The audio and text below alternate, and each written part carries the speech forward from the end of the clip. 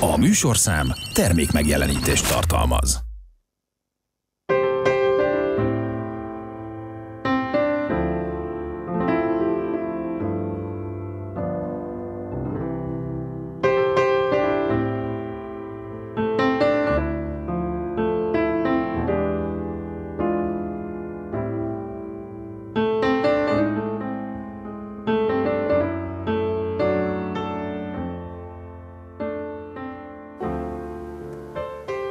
Szép jó estét kívánok, köszöntöm a Fehérvári Beszélgetések nézőit. Székesfehérvár a királyok városa, Székesfehérvár a művészetek városa és a gazdaság, a kultúra városa, mondhatjuk, és a kórusok városa is.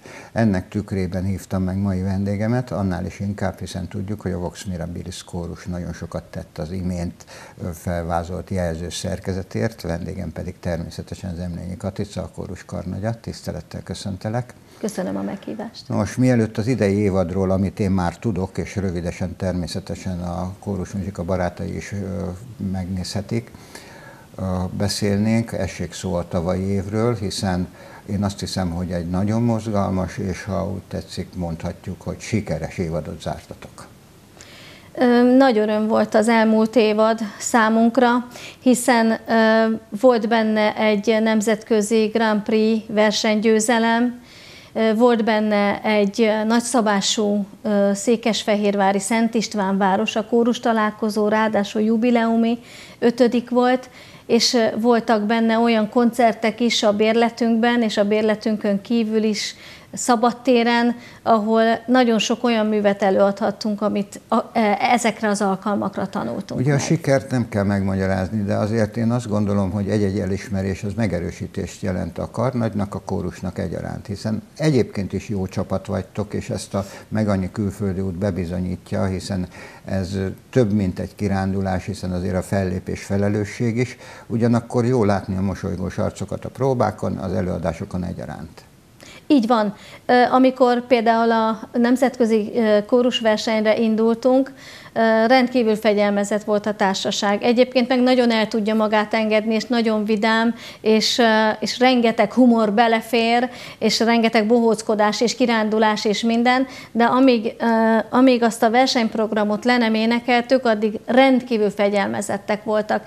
És megmondom őszintén, hogy ami nekem a legjobban esett, az, hogy három kategóriában indultunk, és mind a háromban nagyon komoly helyezést értünk el, és különleges kiemelt díjakat kaptunk, és főleg a Grand Prix az volt a csúcs, ami pedig jelezte ennek az egész nemzetközi nagy kórusversenynek a minőségét és a mienségét, hogy a záró összkart azt az én kezemre bízták, hogy én vezényeljem, és azért egy lengyel művet, egy magyar karnagy vezényeljen, 200, több mint 200 embert, azért úgy gondolom, hogy ez is valahol nekem egy olyan elismerés volt, amit, amiért én nagyon hálás vagyok a Jóistennek, hogy ez így sikerült. Ez óriási plusz egyébként mindenképpen. De ha már arról beszéltünk, hogy a, a koncerteken, a különböző turnékon milyen jó a hangulat, azért nagyon-nagyon fontos, hogy a próba folyamat is olyan legyen, amely mindezt megerősíti. Ö, így van. A próbák is nagyon fegyelmezettek, és nagyon, nagyon szépen jönnek. Ugye heti, heti egy próbánk van csak pénteken, azért, mert én úgy gondolom, hogy ha ott előkészítjük a műveket, akkor otthon mindenki tud egy kicsit gyakorolni, és meg is teszik. Meg is teszik, és látom, hogy amikor legközelebb jönnek, akkor, akkor előrébb vannak ezek a kórusművek, és tudnak belőle meríteni, de ahogy már én korábban emlegettem, az én szólamvezetőim kiválóak, és nagyon sokat segítenek a kórustagoknak, és ez engem is megerősít abban, hogy felelősen a helyükön vannak, és jól csinálják az ő feladatukat. Igen, ez egy jó jelzőszerket a felelősség, és hogy felelősen tegyünk mindenért. Én azt hiszem, hogy ilyenkor évad előtt, évad kezdetén, meg még inkább előtérbe kerül ez, de mielőtt arról beszélünk, hogy mi minden történik a felelősség jegyében a következő időszakban, kezdjük talán a kórus táborral. Mindig nagy népszerűségnek örvend, most augusztus 23 és 25 között. Mi a különlegessége egy ilyen kórus tábornak? Talán ez az a program, amit az egész évben leginkább várnak a kórustagok, és én is.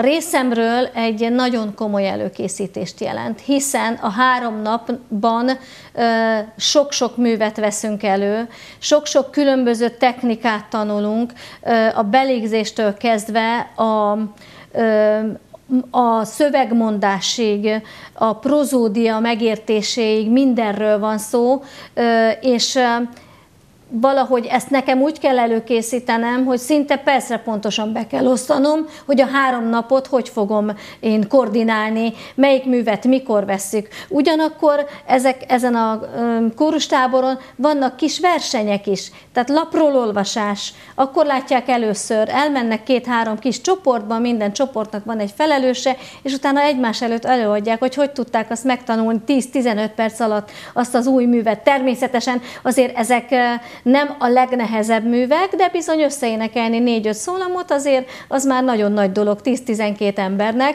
és van zsűri, aki ezt elbírálja, és nagyon sokat nevetünk és sokat mosolygunk, amellett, hogy, hogy ö, hosszú órákon keresztül énekelünk. Tehát ez egy csapatépítő program is egyben, ahol kiderül, hogy egy dal, egy mű sokkal több, de sokkal több, mint egy partitúra. Hogyne? Tehát amikor látom, hogy hogy dolgoznak ezek a kis csoportok, hogy éppen mindig más a vezetője. Tehát itt például a szólamvezetőket nem is osztom be, mert nekik van egész évben más dolguk, hanem már előre kijelölöm magamban, hogy kik lesznek a kis csoportok vezetői, de hát a beénekléstől kezdve minden, minden van, a tanulunk külön női kariművet, külön férfi kariművet. Egy kicsit most, most nagyon szeretnénk a technikánkon javítani, és ez, ez az egyik fő cél például. No, és akkor megérkeztünk a, a, az idei esztendőhöz, szeptember 14-e. Ahogy szokás, és ahogy már a tradíciók is megvonják, megkövetelik, az évadnyitó hangversenynek a Jézus szíve templom otthont. Dózsa István atya az idén is rendkívül készséges volt, és gyakorlatilag azonnal igent mond minden évben, és vállalja a fővédnök szerepét, és én ezért nagyon boldog vagyok, mert Kis János atyától ez, ez az utódlás, ez nagyon szépen megy tovább és ahogy János atya is felvállalt minket, és a kórust, és támogatott, így István atya is mindig, mindig nagyon lelkes, és mindig helyet ad, bármikor mehetünk oda próbálni. Nagyon szeretjük ezt a templomot, mert közel van a közönség. És nekünk fontos, hiszen sokszor a közönségbe beállva éneklünk, vagy körbeállva éneklünk, és nagyon csalóka a Jézus szíve templom, hiszen nagyon sokan elférnek ott, és volt, hogy a 200 darab karácsonyi ajándék nem volt elég a közönségnek, úgyhogy nagy is, nagyon jó az akusztikája, sokféle formációban lehet énekelni, és valahogy úgy érezzük, hogy ez a mi, a mi templomunk. Az évadnyitó az mindig felelősséget hordoz, hiszen megerősíti a hívőket egyik oldalról, a kórus nem különben, tehát ennek tükrében kell összeállítani a műsort is.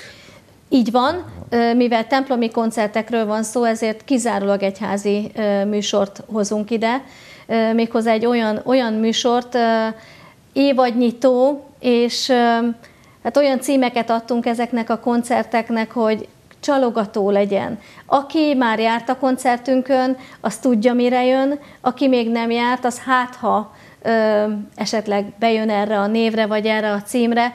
Ö, és hát nagyon nagy dolog, hogy a Bartok Rádió sorsolja a bérleteinket és a jegyeinket a csatornáján, úgyhogy ennek is nagyon örülünk, mert ez is egy különleges alkalom.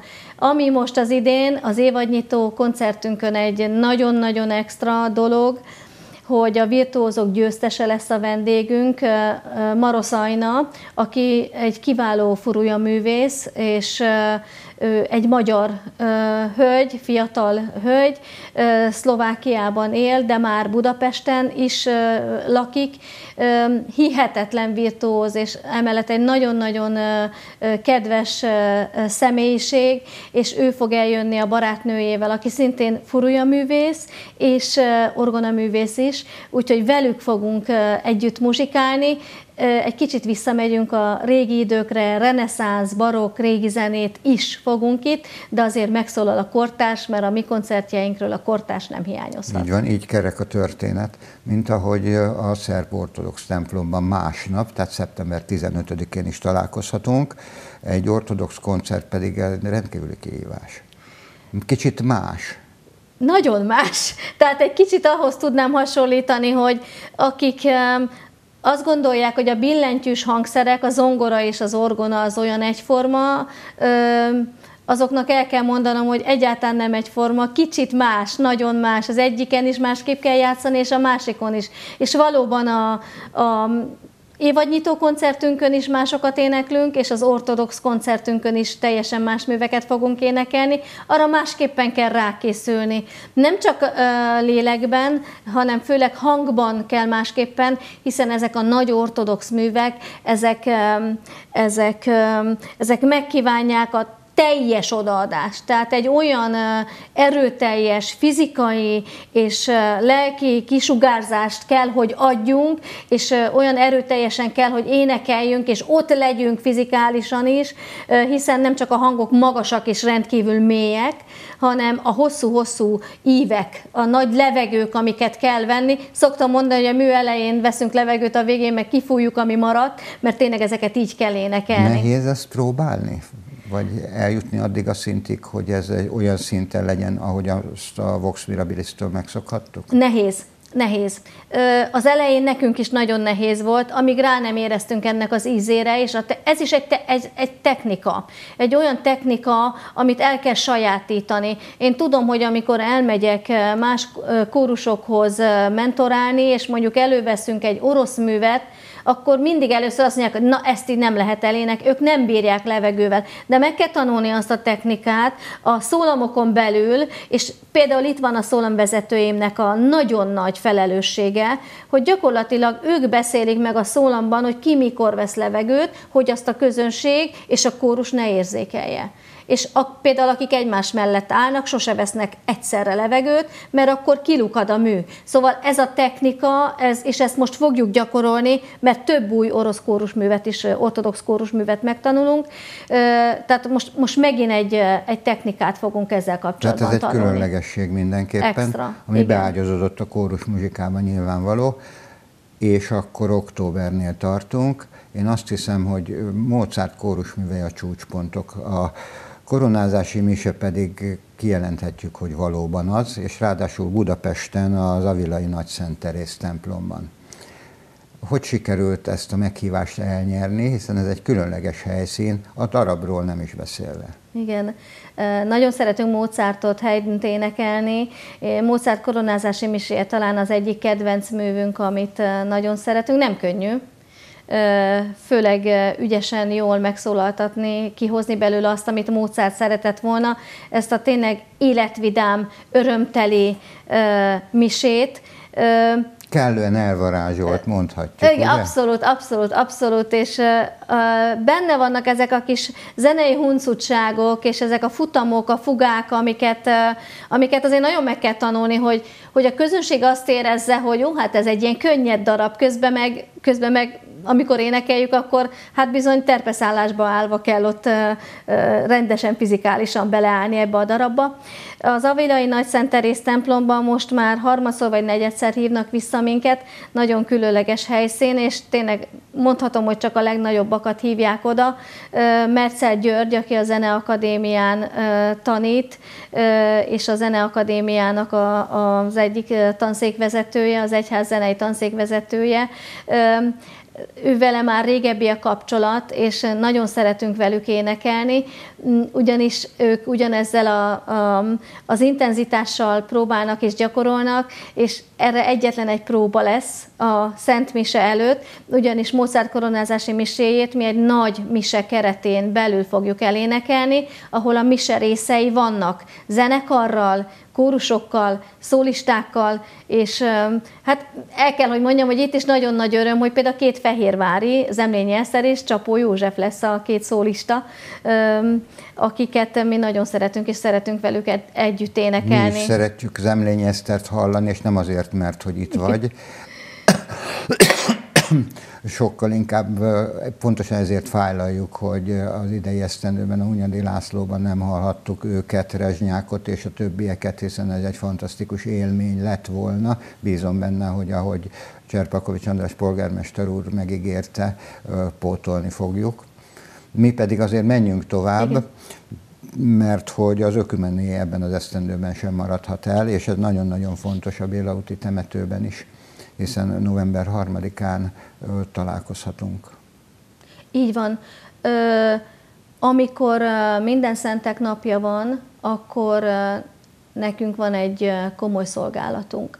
Vannak koncertjeink, vannak jótékonysági koncertjeink, vannak nagyon vidám estjeink, és vannak nagyon komoly szolgálataink. Ezt az ökumenikus megemlékezést a temetőben november 1-én, ezt mindig szolgálatnak tekintjük. És ide mindig olyan kórusműveket válogatok, ahogy ugye a református, az evangélikus, a baptista, a katolikus lelkészek, papok imádkoznak, közé kell válogatni velük, mindig megbeszéljük, hogy ők milyen imákat válogatnak, hogy egyben megemlékezzünk halottainkról, ugyanakkor a feltámadást is vigyük oda, tehát a tovább lépést, a vigasztalást, hiszen ez az egész a vigasztalásról szól és vannak nagyon szép kórusművek, amik itt meg tudnak szólalni, és, és nagyon, nagyon szeretjük ezt a, ezt a programot, még ha önmagában egy picit szomorkás is, de ez a szolgálat, hogy a temetőbe érkezőket mi kiszolgáljuk azzal, hogy, hogy szép zenét adunk, ez nekünk fontos. Igen, hát méltóságot ad mindenképpen, és azt hiszem, hogy ilyenkor mindenkinek nagy szüksége van rá. Advent. És a, ahogy olvasom az adventi decemberi programot, ez is kétnapos, először az elsőt, hiszen a Victoria Rehabilitációs Központ egy nagyon-nagyon fontos helyszín.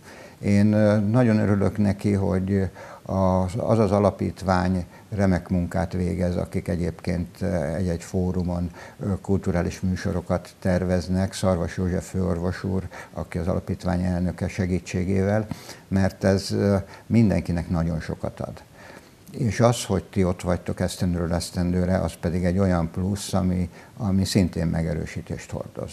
Így van, a Viktória Központban nem az első koncertünk lesz ez, és amikor a főorvos úr engem is felhívott, hogy válasszak egy időpontot, hogy mikor tudunk elmenni, akkor, akkor én arra gondoltam, hogy, hogy az advent talán az, amikor érzelmileg a legtöbbet tudjuk nyújtani, amikor uh, tudunk olyat vinni oda, ahol el tudnak mélyülni, ugyanakkor mégiscsak egy felkészülés karácsonyra, egy karácsonyváró koncert, uh, és uh, rendkívül módon tisztelem ezt, amit ők csinálnak ott hónapról hónapra, hogy tényleg ezeket a keddi fórumokat megcsinálják, hogy hogy mindig mást hívnak. Én pontosan tudom, mint koncertszervező és mint kulturális szalonszervező, hogy ez mivel jár hogy mennyi egyeztetés kell ehhez.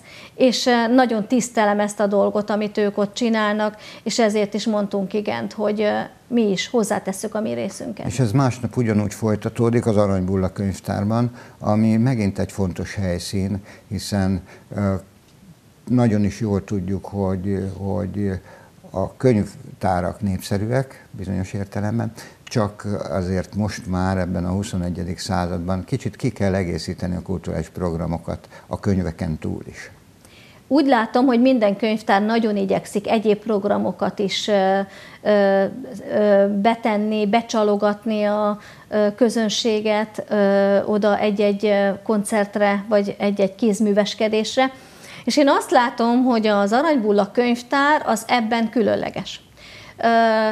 rengeteg extra programot csinálnak, amivel a gyerekeket, a felnőtteket, a nyugdíjasokat, az egyedülállókat és a családokat be tudják csábítani a könyvtárba. Prímán kialakították ennek a helyet, tehát helyük is van, kiskönyvtárról van szó, de mégis úgy van kialakítva, a könyvtár vezetője ezt nagyon jól koordinálja, hogy hogy oda elfér. Elfér egy kórus is, Igen. egy kis kórus, egy kamarakórus, és hát valahogy ez már hagyomány, hogy mi adventben ott adunk mindig egy karácsonyváró koncertet, és sokan jönnek, utána van egy kis forrad bor, mézes kalács, hogy a hangulatot is fokozzuk ezzel, és ott együtt szoktunk énekelni a közönséggel, ki nem hagyjuk ezt a lehetőséget. Tehát lehet nyitni a könyveken túl is a világra. Mint ahogy lehet nyitni egy kicsit más téma, de azért maradjunk a tevékenységednél. A Láncos Szekvő Alapítványban ismét sikerült elnyerned a bizalmat, hiszen azok a közéleti beszélgetések nagyon-nagyon fontosak, nem csak a hívőknek, a nem hívőknek, a környékben élőknek, hogy azért kellő módon tájékozódjanak arról, hogy, hogy egy-egy közösség, vagy csapat, vagy egyén mivel segíti Székesfehérvár kulturális életét. A közéleti és kulturális szalon nagyon fontos mint ahogy más kultúrházakban is ezek a beszélgetések. És az, hogy nekünk egy kis házunk van, de az a kis ház az mindig megtelik, amikor egy-egy különleges partnert hívunk beszélgetőtársnak, bemutatjuk őket, vagy egy filmet bemutatunk, vagy egy új könyvet, vagy egy író-olvasó találkozó van, vagy egy festmény kiállítás megnyitó, vagy egy fotókiállítás megnyitó. Például nekem nagyon, nagyon nagy célom az, hogy azokat karoljam fel, akiknek még nem volt ilyen kiállításuk. És így a, például a Tégli Lászlónak volt egy első fotókiállítása, Babos Ritának volt egy első fotókiállítása, és utána úgy elindul. Tehát mások is hívják őket, de nekem nagyon fontos, hogy azok, akiknek még nem volt, azoknak legyen, hogy megismerje őket a világ, és hogy olyan emberek is tudjanak beszélgetni, akik valamilyen díjat kaptak. Igen. Hát most hihetetlen elismeréseket adtak át augusztus 20-án, úgyhogy van miből meríteni, vannak példák előttünk. Így van, és ez nagyon-nagyon jó. Nos, hát én azt hiszem, hogy fantasztikus programok várnak ránk, itt is, ott is, amott is, tehát egy csomó helyszín hadd ne soroljam most már fel, és hát én bízom benne, hogy ott leszünk, és beszámolunk róla, és hát köszönöm, és sok sikert, jó munkát, nincs kétségem felül, hogy nagyon sok munka vár rátok, és hát köszönöm szépen, hogy megtiszteltél. Köszönöm a meghívást. Kedves nézőink, Vox Mirabilis jövőképről beszélgettünk, és sok minden másról. Vendégem Zemlényi Katica volt, a Vox Mirabilis Kamara Kórus vezetőjeként, és azt hiszem, hogy augusztus 23-ától, illetve szeptembertől, ahogy eddig is, teltház lesz a Vox Mirabilis fellépésein, nincs kétségem felőle. Én pedig köszönöm megtisztelő figyelmüket, viszontlátásra!